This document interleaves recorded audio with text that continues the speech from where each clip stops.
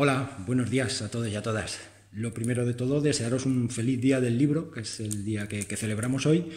Y bueno, y también muy importante, pues desear que todos y todas eh, estéis y sigáis bien y toda la gente que queréis también lo esté.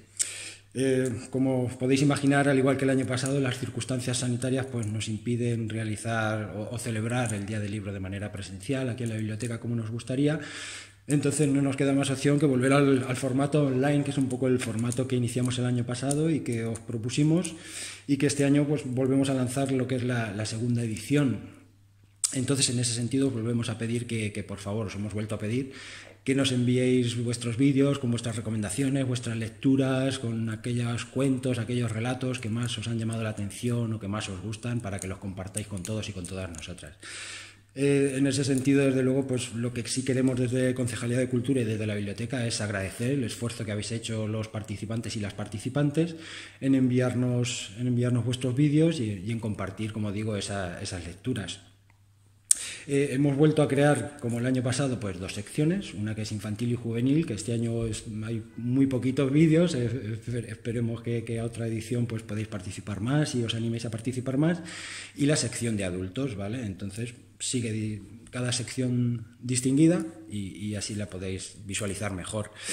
Y poco más, poco más por mi parte, simplemente era introducir la actividad, eh, presentarla de nuevo y, y, bueno, recomendaros también un libro, quiero hacer yo la recomendación mía, que en este caso es Intemperie, de Jesús Carrasco, que es el autor que, ha escrito el manifiesto del libro de este año eh, y os animo a leerlo. Lo hemos puesto en la página web de la biblioteca y merece la pena leerlo, es un gran escrito. Entonces os pongo la portada, aunque muchos os lo he dejado en la biblioteca, muchos y muchos lo habéis leído porque os lo he pasado en la biblioteca. Si alguien no lo conocéis, os, animo a, leer este libro que, realmente merece la pena. ¿vale? Es, un libro, eh, en cierta medida es intenso, con, incluso con algunos pasajes de que tienen una dureza mmm, bastante acentuada, por así decirlo, pero, pero merece la pena leerse y luego no, deja de haber un atisbo de luz al final del túnel, como solemos decir, ¿no? y merece la pena, ¿vale? Y nada más, nada más, agradecer de verdad, de corazón, la participación de todos y todas, esperar que disfrutéis, que paséis un feliz día del libro, desde luego, y que no dejéis nunca de incorporar un ratito de lectura a vuestras vidas, pues, pues nos permite vivir otros mundos y otras vidas que de otra manera pues sería imposible en realidad. Lo dicho, nada más. Sobre todo que sigáis bien todos y todas y, un fuerte abrazo. Disfrutad del vídeo. Gracias.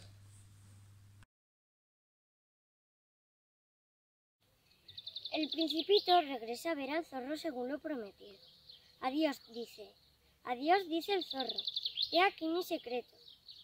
Es muy simple. Solo se puede ver bien con el corazón. Lo esencial es invisible a los ojos. El tiempo que has perdido por tu rosa es lo que hace tu rosa tan importante. El principito se queda inmóvil durante un rato y cae lentamente como un árbol. Ni siquiera hace ruido a causa de la arena. Feliz de vuelta en su planeta, se vuelve a encontrar con sus tres volcanes y con su rosa domesticada. La historia del principito. Feliz día del libro.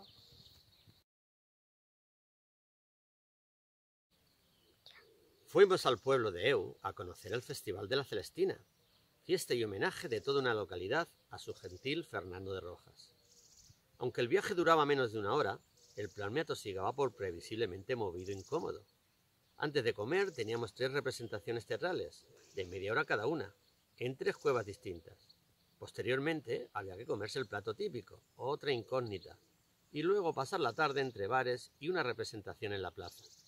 Pero resultó le admití a Eu de buena gana que lo estaba pasando en grande. Llegué a emocionarme en aquellas cuevas horadadas del siglo XV, que se comunicaban misteriosamente entre ellas.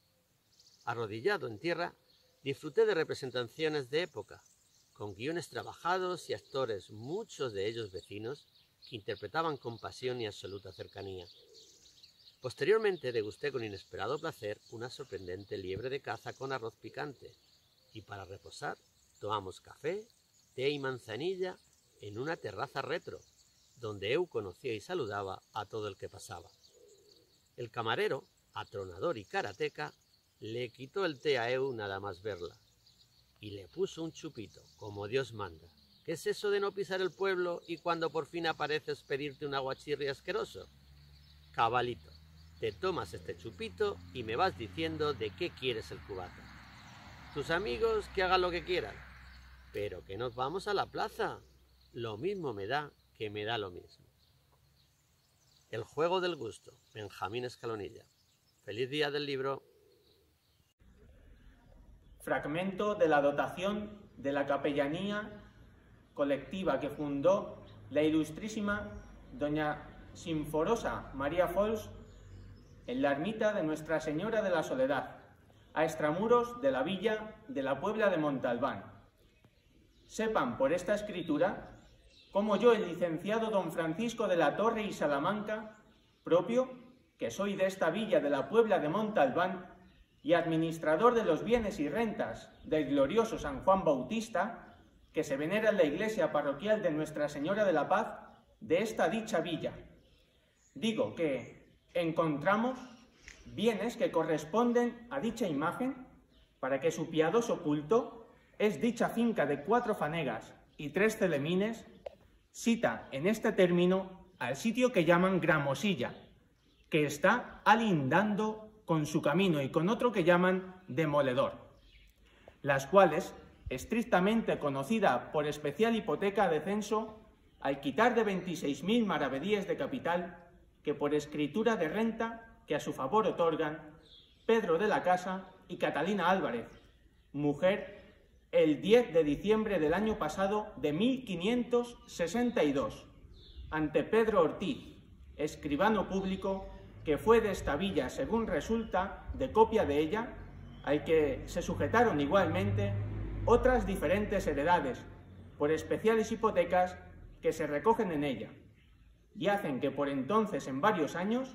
se cobraron y percibieron los réditos de dicho censo. Andaluces de Jaén, aceituneros altivos, decidme en el alma quién, quién levantó los olivos. No los levantó la nada, ni el dinero, ni el Señor, sino la tierra callada, el trabajo y el sudor unidos al agua pura y a los planetas unidos, los tres dieron la hermosura de los troncos retorcidos.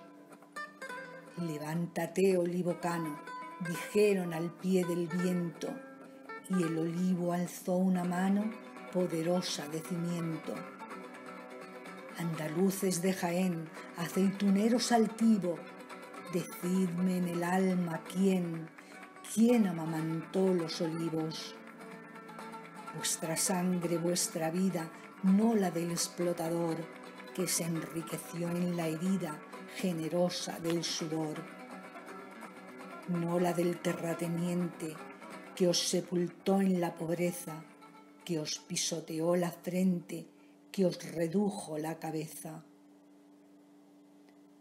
Árboles que vuestro afán consagró al centro del día eran principio de un pan que sólo el otro comía. Cuántos siglos de aceituna, los pies y las manos presos, sol a sol y luna a luna, pesan sobre vuestros huesos. Andaluces de Jaén, aceituneros altivos, pregunta mi alma, ¿De quién?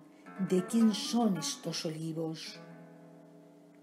Jaén, levántate brava sobre tus piedras lunares, no vayas a ser esclava con todos tus olivares. Dentro de la claridad del aceite y sus aromas indican tu libertad, la libertad de tus lomas.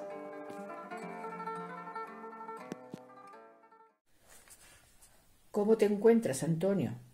¿Qué podemos hacer por ti? le preguntó Ernesto Gómez. Nada, muchas gracias. Voy a esperar hasta que despierte. Vosotros ya habéis hecho mucho acompañándome en estos duros momentos. Antonio responde con sinceridad, aunque incapaz de mirar al inspector jefe a los ojos. Se encuentra alicaído. A pesar de su insistencia por quedarse, Jimena Esteso y Ernesto Gómez abandonan el hospital tras la petición del vigilante de seguridad, quien les ha dado un mensaje muy claro a ambos. Hacer hablar a ese hijo de puta es el único momento en toda la tarde en que Antonio Bravo dirige su mirada a los ojos de los agentes. Hacerlo, o me encargaré personalmente de que calle para siempre. Voy a leer un fragmento del libro Días sin ti de Elvira Sastre. Hay momentos en los que la vida te coloca en una situación compleja. Escoger entre lo que puede hacerte feliz y lo que quieres que te haga feliz. La primera opción es sencilla, no supone un esfuerzo importante ni te obliga a renunciar a nada. Se trata de oportunidades que la vida pone frente a tus ojos, oportunidades que normalmente aplauden los que te rodean. Te animan, te dicen lo afortunado que eres, te prohíben dudar, te obligan a agradecerlo. Parece casi atrevido decir que eso no es lo que tú has escogido. Entonces surgen los segundos caminos, esos en los que no se vislumbra el final, ni siquiera el recorrido. Están plagados de miedo y vértigo, de una indecisión que a veces parece que no termina, de dedos acusadores que llaman imprudencia y osadía a tu valor. Entrañan riesgos y casi siempre falta de seguridad, de la certeza de que aquello vaya a salir bien. Sin embargo, en esos lugares se encuentran los sueños, las verdaderas aspiraciones de cada uno, ya sean trabajos, relaciones o ganas de abrir nuevas puertas. En esos trayectos aparece de pronto la libertad más pura, la del alma. El que decida aventurarse por la senda de la valentía y del riesgo encontrará campos en los que sentarse y gritar hasta perder el aliento. El que escoge la primera alternativa, el que abraza todo lo que le viene dado y se conforma, intentará gritar, pero será demasiado tarde. Solo exhalará un suspiro que se llevará al viento. Hay que abrir los ojos para poder soñar, no lo olvides. Los sueños no se cumplen con los ojos cerrados de Bernarda Alba de Federico García Lorca. Una gran reflexión crítica sobre las costumbres de aquella época.